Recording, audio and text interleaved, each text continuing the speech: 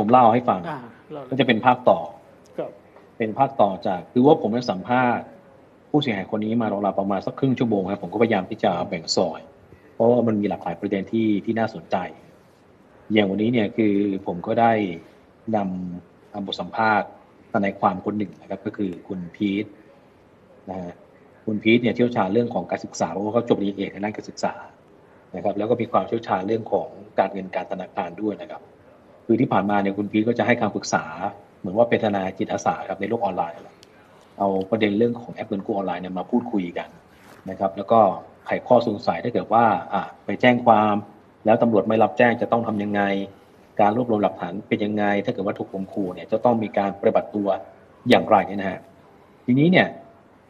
เพราะว่าพอมีการไปขายบัญชีนะจะอ้างว่า ด้วยสภาพเศรษฐกิจหรืออะไรก็แล้วแต่นะกองปราบปรามเคยเตือนมาแล้วนะครับว่าถือว่ามีความผิดตามกฎหมายดังนั้นเสียงที่จะได้ฟังวันนี้ครับมีเสียงของผู้เสียหายคนหนึ่งที่เขาอ้างว่าเขาถูกหลอกนะครับคือว่าขายบัญชีไปแล้วเนี่ยแล้วคนที่มาซื้อต่อก็เป็นคนกลางนะครับก็อ้างต่อว่าเจ้าบัญชีนี้นี่นะฮะคุณผู้ชมอะเพื่อที่จะเอาไปไว้รับเงินจากแรงงานต่างด้าวนะครับอะเดี๋ยวไปฟังดูแล้วกันนะครับ ว่าเขาจะชี้แจงเรื่องนี้อย่างไรกับการที่ว่าขาย บัญชีธนาคารไปให้กับคนกลางที่อยู่ในกระบวนการแอปเงินกู้ออนไลน์ผิดกฎหมายครับ แล้วเรารู้อยู่หรือเปล่าครับว่าจริงๆแล้วพวกนี้มันมันจะมีความผิดอยู่แล้วการที่จะให้เอ่อคนเขาเปิดบัญชีแทนเราใช้ชื่อเราแอบอ้างชื่อเราอะไรอย่างเงี้ยไอ้รู้ไอ้รู้รู้รู้ไหมอะหนูรู้พี่แต่ด้วยความที่หนูคิดว่าเขาน่าจะคือเหมือนกับว่าเราไม่มีด้วยแล้วหนูคิดว่าคำพูดเขาไงคำพูดเขาบอกเฮ้ยพี่เช็คให้ได้ มั่นมั่นใจดีว่าพี่เช็คให้ได้อะไรอย่างเงี้ย หนูก็เลยคิดว่าแน่นะพี่มันไม่เอาไปทำอะไรแน่นะอะไรอย่างเงี้ย หนูก็เลยอะโอเค ให้เขาไป แล้วก็ระยะเวลาแค่นี้ ก็ไม่คิดว่ามันโอ้โหมันจะเอาไปทำอะไรได้ขนาดนี้ ซึ่งพอมาสอบถามผู้เสียหายหลาย ๆ คนอะเขาก็บอกว่าน้องชื่อบัญชีน้องอะมันถูกเอาเข้าไปวางในในแอปแอปหนึ่งที่ไอคนที่มันโทรมาบอกพี่ว่ามันจะให้เงินกู้นะ มันบอกให้พี่อะโหลดโหลดโหลดเอ่อเอ่อแอปไอดีไลน์มันก่อน พอแอปไอดีไลน์เสร็จนั้นอะ ให้โหลดมันก็จะส่งลิงก์ลิงก์หนึ่งมาให้ พอลิงก์ลิงก์ลิงก์เนี้ยมันจะเป็นลิงก์แอปเงินกู้ให้เราโหลดมาไว้ในเครื่องพี่เขาบอกว่าพอโหลดเสร็จอะให้ให้เข้าไปในแอป แล้วมันจะมีคำว่าคัดลอกเลขที่บัญชี โอนเงินค้ำประกันวงเงินกู้อะค่ะพี่ นั่นแหละพอคัดลอกปุ๊บอะแล้วเอาไปวางโอนอะมันเป็นชื่อหนูเลยอืมมันเป็นชื่อหนูเลย มันเอาชื่อหนูไปทำแบบนี้ในแอปเลยอืมอืมหนูก็เลยบอกอ๋อมีหน้าละคนเขาถึงแบบว่า โอนกันเยอะมาก เกือบเจ็ดสิบเจ็ดจังหวัดพี่ยอดขนาดนั้น อืมแล้วเรารู้อยู่หรือเปล่าครับว่าจริงๆแล้วครับพวกนี้มันมันนี่จะมีความผิดอยู่แล้วการที่จะให้เอ่อคนเขาอ๋อเปิดบัญชีน้องคนนี้เนี่ยนะฮะใช้ชื่อเราคุณผู้ชมฮะแอบอ้างชื่อเดี๋ยวเราเดี๋ยวตัดเข้าหน้าผมนะฮะมันจะมีเสียงทนายความอีกพอน้องคนนี้เนี่ยเขาบอกว่าเขาหลวมตัวไป ตกหลุมพรางถูกลวงไปเนี่ยผมพยายามติดต่อกับคนกลางนะแต่ไม่ยอมให้ผมสัมภาษณ์นะ ซึ่งมันแปลกมากเลยว่าเขาบริสุทธิ์ใจเองเนี่ยเขาก็ต้องให้ผมพูดคุยใช่ไหมแต่คนนี้เนี่ยเพราะว่าน้องเขาติดต่อไปแล้ว บอกว่ามีนักข่าวคนหนึ่งที่ทีเดเนี่ยขอติดต่อพูดคุยด้วย อยากให้ชี้แจงเกี่ยวกับเรื่องของกรณีนี้หน่อย ผลปรากฏว่า เงียบหายไปเลยนะฮะ เงียบหายแต่ว่าทีเนี้ยคนกลางคนนี้เนี่ยยังเป็นเพื่อนกับน้องคนนี้ใน Facebook อยู่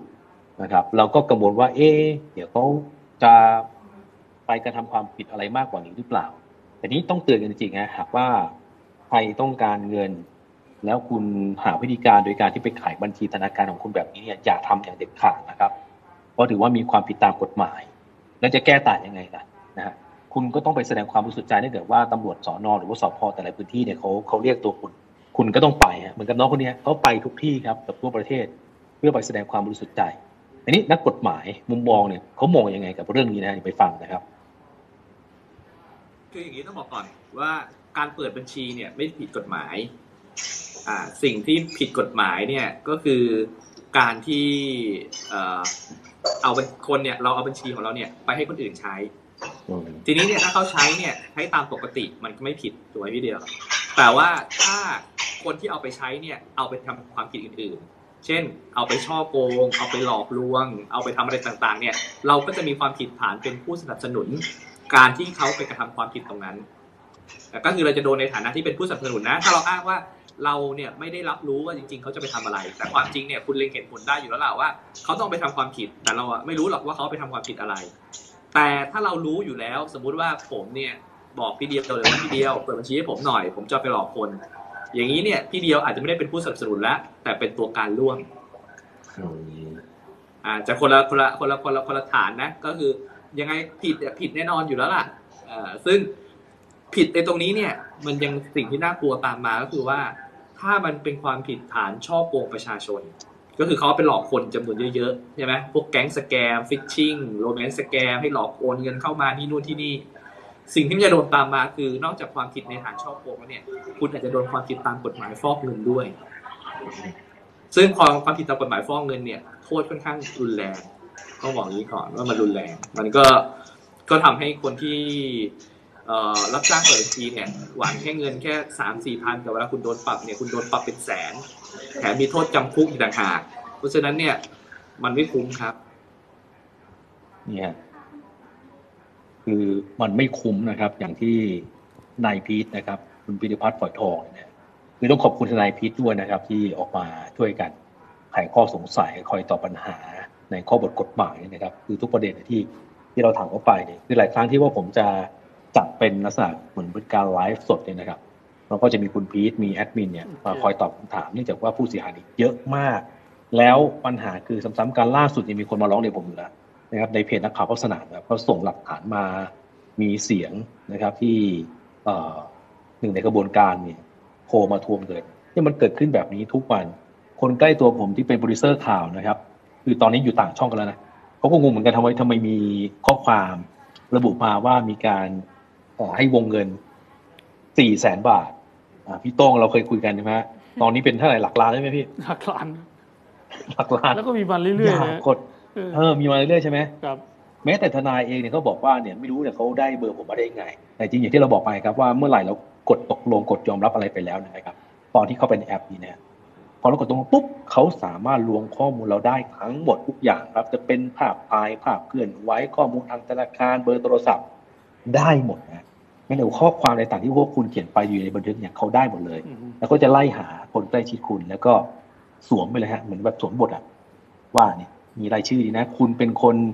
เหมือนไปค้ำประกันให้ คุณต้องไปบอกเขาหรือชดใช้ให้ แบบเนี้ยเกิดขึ้นทุกวันจริง ๆ ผมก็พยายามที่จะเล่นอย่างต่อเนื่องนำเสนออย่างต่อเนื่องอยากให้ประชาชนเนี่ยได้รู้เท่าทัน แล้วก็หวังว่าตำรวจนะฮะคุณรับเรื่องร้องเรียนกับผู้เสียหายจริง ๆ นะครับ อย่างน้อยๆเนี่ย ลงมาที่ประจำวันกับเขาเถอะ